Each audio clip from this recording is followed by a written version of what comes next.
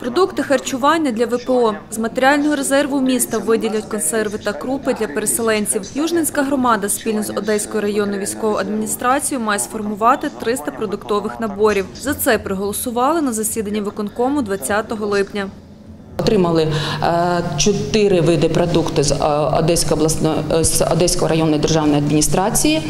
Ем, І так як ця допомога надається при умові, що цей пакет повинен бути спільним, то громада повинна від одного до будь скільки має е, можливості е, додати до цього продуктового набору свої види і е, видати людям. На сьогодні, як я вже озвучила на виконавчому комітеті, прийнято на 300 продуктових наборів. Е, Ну було вирішено е, координаційним штабом з гуманітарних та соціальних питань останнім протокольним рішенням, що це будуть новоприбулі е, внутрішньо переміщені особи. Ми в основному е, в- формуємо певну е, ну, умови певні і їх е, публікуємо в соціальних мережах. е, В тих групах, де є внутрішньо переміщені особи, ми їх знаємо, і це дуже швидко розповсюджується, швидко розповсюджується, особливо це стосується груп е, ОСББ. Володимир Дрібноход порушив питання використання продовольства з матеріального резерву для допомоги заводчанам. Працівники хімічного підприємства вже близько двох місяців не отримують заробітну плату. Міський голова доручив управлінцям відпрацювати можливість такої гуманітарної допомоги. Последний год, в период военных действий, мы старались решать вместе с руководством э, города Южного. И приятно, что по многим вопросам по оказанию гуманитарной помощи Мы находили понимание и нам оказывалась помощь. Когда работала зерновая угода, э, припортовому заводу было легче, потому что мы могли получать и закрывать заработную плату в меру тех размеров, которые были. На сегодняшний день э, блокировка продолжается, а сейчас зерновая угода прекратила свое существование. Поэтому этот источник, где мы могли получать деньги, тоже иссяк. Руководство завода занимается этим вопросом э, плодотворно и старается что-то сделать на уровне, на самом высоком уровне в городе Киеве. Принято решение по возможной работе Одесского припортового завода. Будем ждать окончательного этого решения.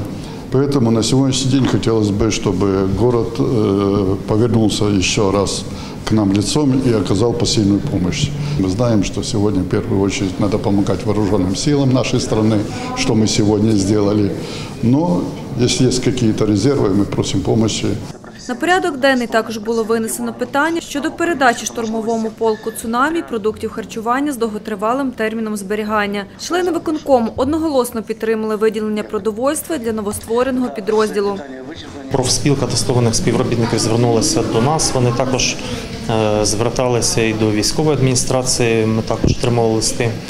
Тому було підготовлено зміни до програми ТРО, за яку депутати проголосували. Наразі рішенням виконавчого комітету ми вже вирішили питання щодо надання цієї допомоги, оскільки вони звернулися з проханням надати продукти довготривалого зберігання, які наразі у нас є, тому пішли на зустріч і це дійсно потрібно в умовах сьогодення.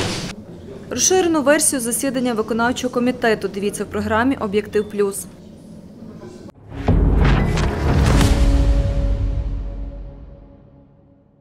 Німецькі бебі-бокси в Южненській лікарні. Медзаклад отримав гуманітарний вантаж від європейських волонтерів. У пакунок малюка входять одяг, пляшки, харчування, іграшки, засоби гігієни для дитини та мами, дитячий спальний мішок, рушник, плед, термометри та інше. Набір для немовлят можуть отримати ВПО, які народжують в Южненській лікарні, та місцеві молоді мами. Кожна жінка в Україні з 19-го року має право при народженні дитинки отримати одноразову допомогу, натуральну одноразову допомогу пакунок малюка. Коли в нас жінка народила, ми їй пропонуємо або пакунок малюка, або грошову допомогу.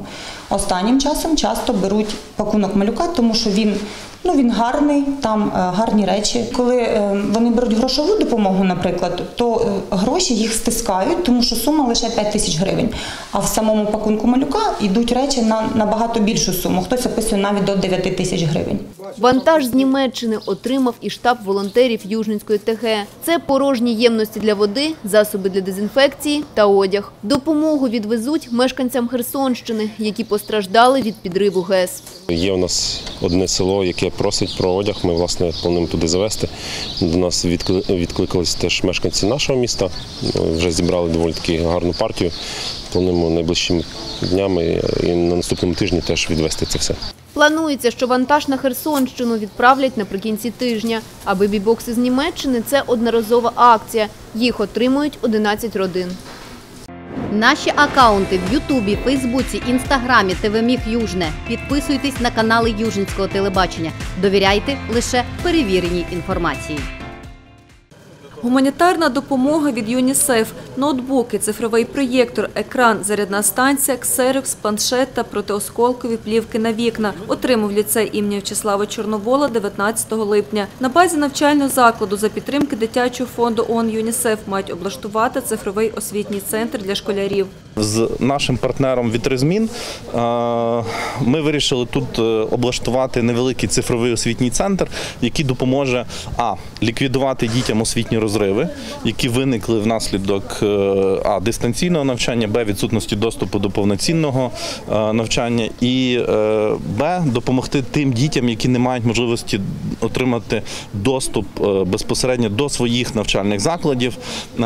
Наприклад, вони приїхали сюди в Южне, вони навчаються десь далі числяться в школі, яка перебуває на тимчасово окупованій території, і не мають власного, наприклад, планшету, ноутбука. Для цього ми створюємо цей цифровий освітній центр з ноутбуками, з іншими цифровими ресурсами. І логіка така, що школяр з числа внутрішньопереміщених осіб може прийти, попрацювати, позайматися.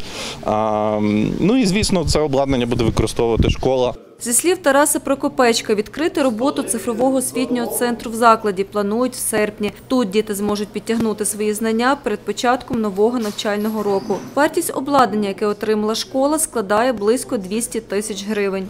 Ми будемо проводити додаткові заняття, і на цих заняттях будемо дивитися, що діти засвоїли за попередній рік, бо приїдуть діти з-за кордону, приїдуть діти з інших громад, які наші діти, які жили в інших громадах, і е, ЮНІСЕФ підтримало нас технічно. Тому ми будемо просити батьків, щоб батьки активно відгукнулися на це. Тобто у нас і зараз були літом, з 1 червня по 15 червня, у нас кожен день були якісь заняття. Наприклад, один день це українська мова, другий день англійська, третій математика, четвертий історія і так далі. Тобто, що діти вже підігнали. Але зараз появиться близько 100 людей, які учнів наших, які, які не були присутні в червні. Ми вже налагодили якби тісні зв'язки такі, і вони просили, що якщо у нас будуть якісь ідеї, бо ми не хочемо мати якісь там ідеї, зв'язані з там.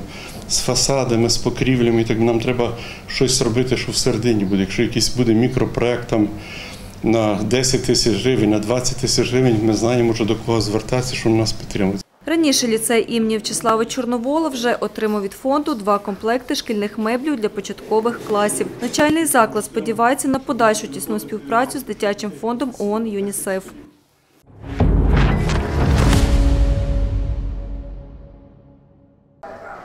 Кроки реалізації бізнес-ідей. Відбувся тренінг для жінок ВПО. 21 липня група слухачок зібралася в малій залі Палацу культури, аби отримати знання щодо відкриття власної справи. Учасниці заходу різного віку, професій та рівня знань підприємницької діяльності, проте їх об'єднало бажання розпочати власний бізнес. Домашній кондитер це моя справа. Само, самоучка, так, сарафанне радіо, свої 8 років, мала добрих клієнтів. Все вдавалося, але будемо знову, знову починати. Ми зараз виконуті з життя, але маємо надію відновитися у якійсь новій своїй справі, бути корисними для своєї держави. Мені дуже сподобалося це для розвитку дуже гарно. Тому що я дуже багато чого ще не знаю, але хочу відкрити свій, свій маленький салончик, хоча б Тому що в мене була мрія вдома це зробити, я не змогла. З цією війною навіть в мене салончик залишився вдома, але коли Каховську ГЕС розбомбили, наш дім затопили. В даний момент ми будемо жити тут, скоріш за все, поки. Але далі час покаже. Тому я думаю, це дуже корисно. На цьому ще не треба зупинятися. Думаю, ще багато-багато чого можна дізнатися. Жінки не тільки послухали лекцію, а й отримали завдання. Учасниці озвучували свої сильні та слабкі сторони для сфери підприємництва, пропонували ідеї для бізнесу на прикладі Южного. Провели тренінг фахівці громадської організації «Центр ВОТОМ» з Одеси. На жаль, дуже часто люди вони знаходяться в стресовому стані через війну. Вони не бачать для себе якихось перспектив, нічого їх не надихає. Тому для нас дуже важливо в першу чергу приділити е, увагу тим, у кого ще от є хоч е, трошечки цього бажання е, подумати про те, що вони будуть робити завтра, як вони можуть самостійно впливати на своє життя. Сьогодні ми з ними працювали над тим, щоб вони могли в першу чергу оцінити себе, свої сильні слабкі сторони, побачити, які є точки зростання, де вони можуть покращити свої навички, де- вони можуть отримати нові знання, і що вони можуть е, зробити для себе і своїх родин. Е, Сьогодні ми з ними е, розібрали, як визначитися з бізнес-ідеєю, як оцінити, наскільки вона буде актуальна, і де можна шукати підтримку з боку грантових проєктів і залучити саме цю безповоротну фінансову допомогу. Лекторів запросили волонтери Центру взаємодопомоги Южницької ТГ. Останнім часом вони сконцентрувалися саме на внутрішньо переміщених особах. Тренінг з бізнесу – це четвертий захід в рамках проєкту «Життя триває», який реалізовують волонтери Центру взаємодопомога. Все мы понимаем, что одно дело, ну, как бы ждать помощи, а другое дело уже начинать на новом месте адаптироваться и начинать развиваться. Бажаючих было э, очень много, але э, вообще тренинг тільки для 20 человек. Это было условие организаторов. И, по-друге, конечно, ночи наши дали знать, и э, сегодняшние тревоги э, некоторые женки не смогли, потому что маленькие дети, они побоялись просто приходить, но это буквально 2-3 человека, а так все здорово, все остальные все с удовольствием да, пришли, и вы видите активность, они участвуют, они хотят выйти с идей, они хотят что-то сделать потом. Тренінг тривав протягом майже всього дня. Після заняття жінки мають можливість і далі підтримувати контакт з кураторами для отримання порад.